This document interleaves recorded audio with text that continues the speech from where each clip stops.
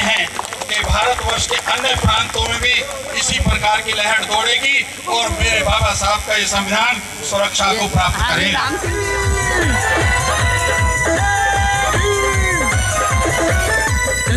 सबल करे रक्षा प्रबल।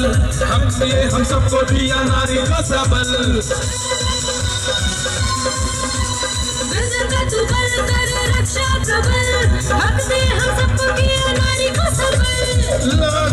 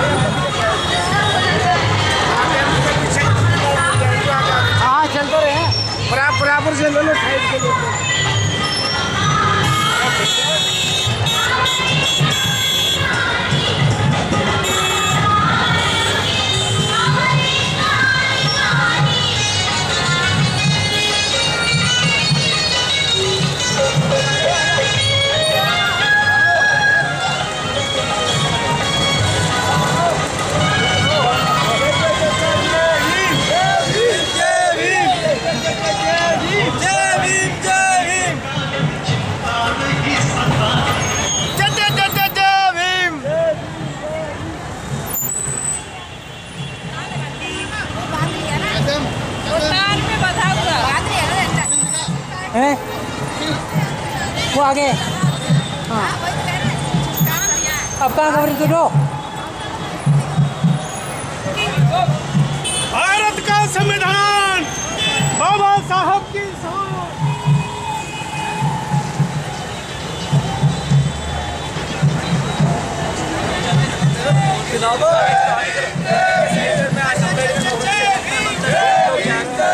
सबसे बड़ा पंचमी ध्वज लेकर। बाबा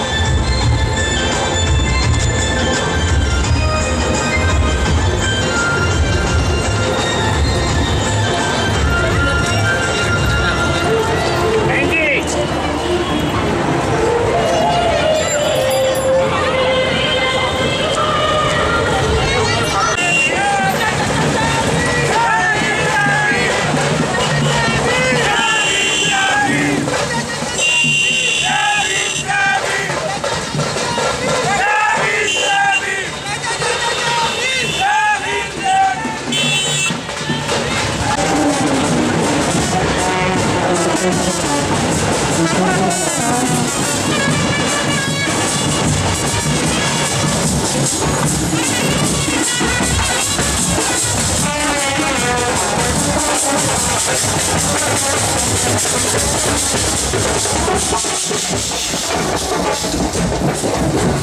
sorry.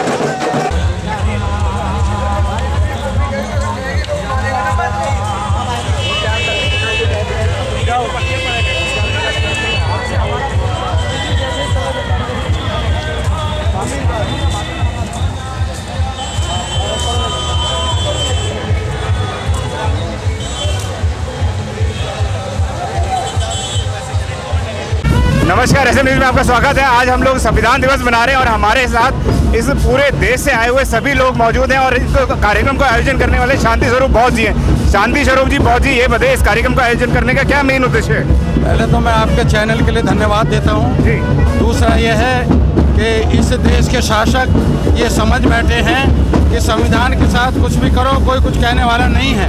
उनको कम से कम ये पता होना चाहिए कि इस भारतवर्ष का जितना कमेरा वर्ग है जितने S C S T O B C हैं जितनी महिलाएँ हैं जितने अवर्ण हैं वो सभी संविधान के लिए अपनी जान तो दे सकते हैं मगर इस पर किसी भी प्रकार की आँच नहीं आने दे सकते। आज संविधान को बदलने की जो बात हो रही है वो एक सिलसिले लोगों का अभियान है जो कभी भी सफल नहीं होगा। उस अभियान को धता बताने के लिए आज हम सड़कों पर उतरे हैं और उतरते रहेंगे।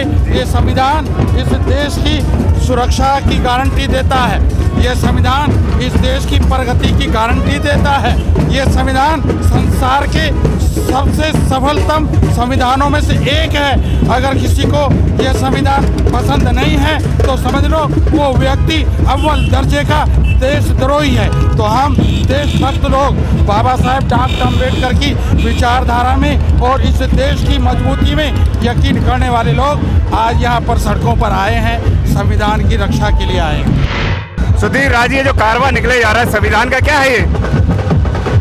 ये कार्रवाई इस बात का सबूत है कि भारत में जो संविधान है वो सर्वोपरि है और इसको मानने वाले पिचासी परसेंट लोग आज भी ज़िंदा हैं और जानते हैं। और ये यात्रा पूरे देश में हो रही है। पिछले साल लगभग 2000 यात्राएँ थी इस साल लगभग 4000 से ज़्यादा यात्राओं की खबर अब तक आ चुकी है। पूरे देश से लोग जुड़े हुए हैं इसमें छोटे बच्चे बड़े बूढ़े सभी लोग चल रहे हैं नौजवान लोग भी बड़े अनुशासन से चल रहे हैं सारे के सारे यहाँ पर पूरे देख रहे संविधान दिवस लोग बना रहे हैं और बहुत शालीनता से बना रहे हैं, क्योंकि बाबा साहब, डॉक्टर भीमराव अंबेडकर ने संविधान को दिया था और बहुत उसमें सुंदरता से उसमें बताया था कि कोई भी ऐसा काम ना करें, जिसकी वजह से आपको कोई परेशानी हो। आप देख रहे हैं कि सभी लोग बहुत आराम से बाबा साहब का उद्घोष करते हुए चलने लग रहे हैं। यहाँ के संस्थापक हैं और पूरे आयोजन को संचालन कर रहे हैं।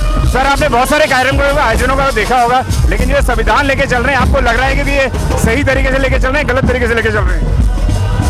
आपको नहीं पता कैसे चल रहे हैं? नहीं यहाँ बताएँ कैसा लग रहा है क्योंकि दिल्ली पुलिस को बहुत सारी परेशानियाँ होती हैं। आपको इसी तरह कितनी परेशानी आ रही है इस आंदोलन को लेके जा, जाते हुए? ठीक है नॉर्मल है हाँ? कुछ नहीं। कोई परेशानी नहीं है।